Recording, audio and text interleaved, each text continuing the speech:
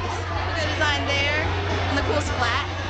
I love when things are edgy, but classic.